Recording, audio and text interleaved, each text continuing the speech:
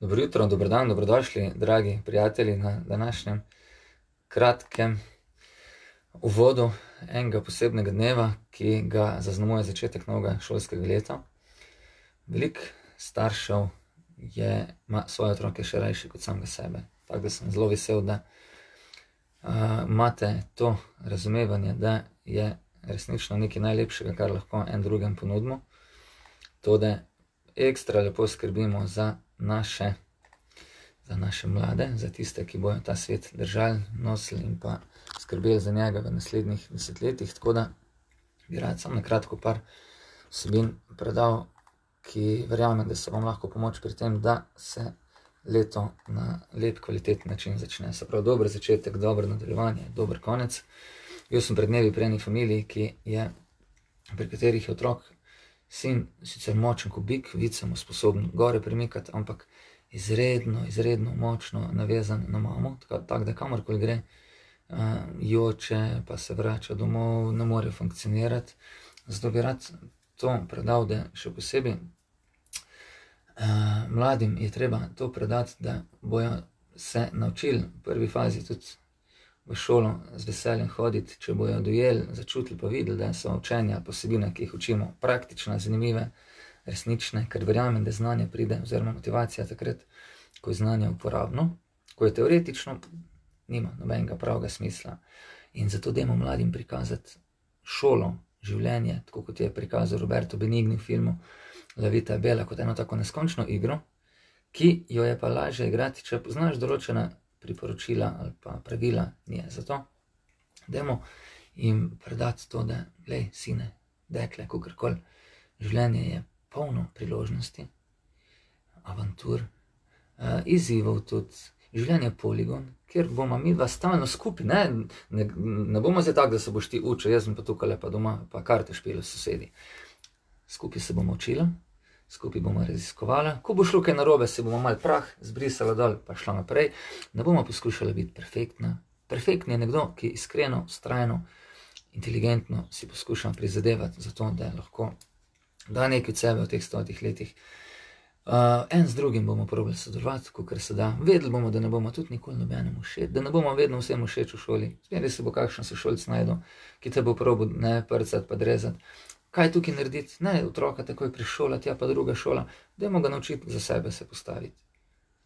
Dajmo ga naučiti nositi prijateljem v šolo kake stvari, ne podkupnine, da ga ne bojo tepli, ampak daj, da bo vsak teden prinesel enkrat, evo, slaščice v šolo. Da bo enkrat na mesec ali pa enkrat na semester vsaj povabil prijatelje domov na igrišče, da se bojo šli igrat, da bojo šli na kakšen izlet skupaj. Dajmo ga to naučiti. Dajmo ga naučiti učitelje, otroke oziroma učitelje spoštovati z našim primerom. Zelo važna stvar.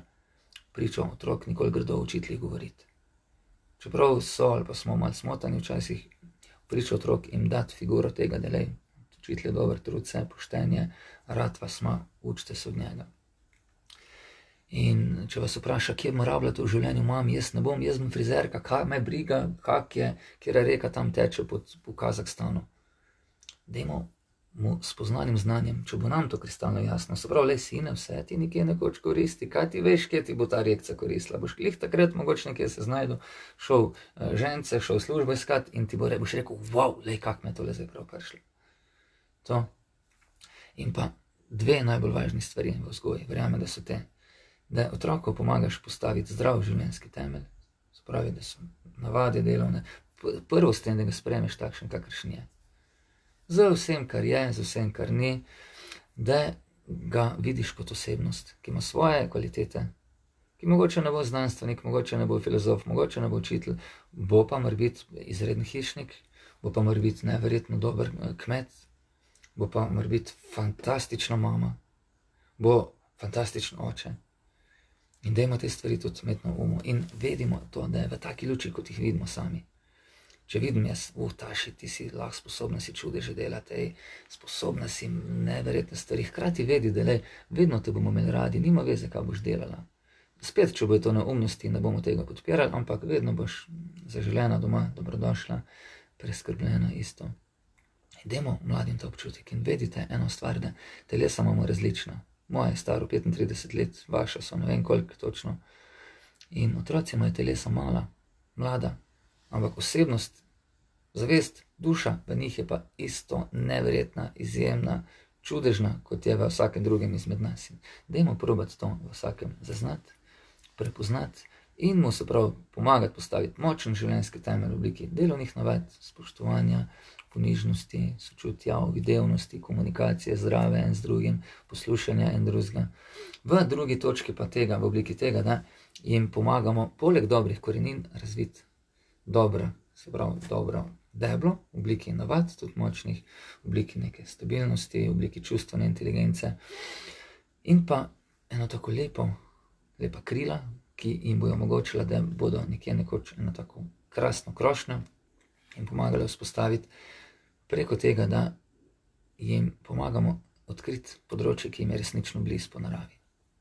Da vidiš, da aha, le tale pa le rojena je, rojena ekonomistka je, le rojena učiteljica je, le rojen potapljač je, rojen astronaut, le ta pa mora na zemlji delati.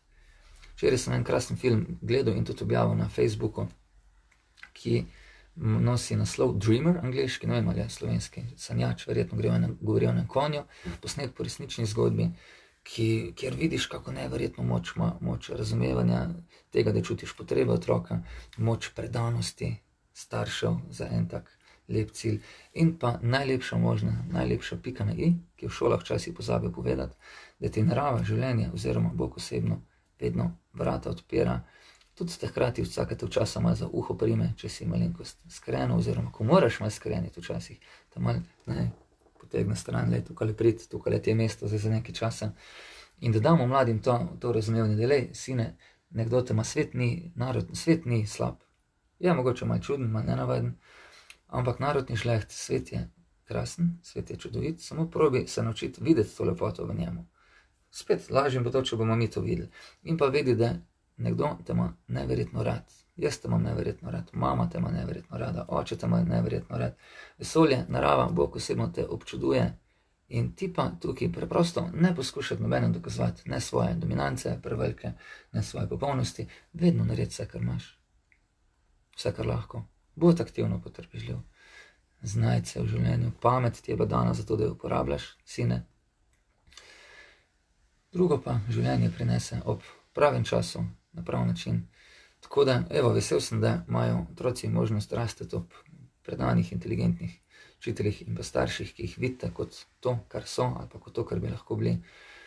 Tako da, hvala vam za tak lep posluh vsako jutro na različnih kanalih, če vam lahko kakorkoli doprinesem, ste vedno dobrodošli.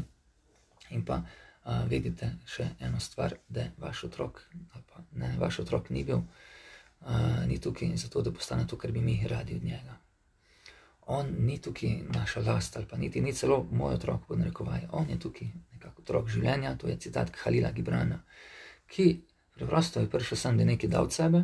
Naša naloga pa je, da mu tukaj nismo v, pri tem v napoto, ampak da, mu, da ga opremimo z vsem, kar bo v življenju potreboval in da ga vedno na pravi način skrbimo za njega. Se pravi, to pa pomeni, od samega začetka, večina vas bo še imela otroke ali vnuke ali nečake, da vemo, da je že, če želimo privlačiti ali pa da se bo svet naselil z angeli, kar otroci verjamejo, da praktično vsi so.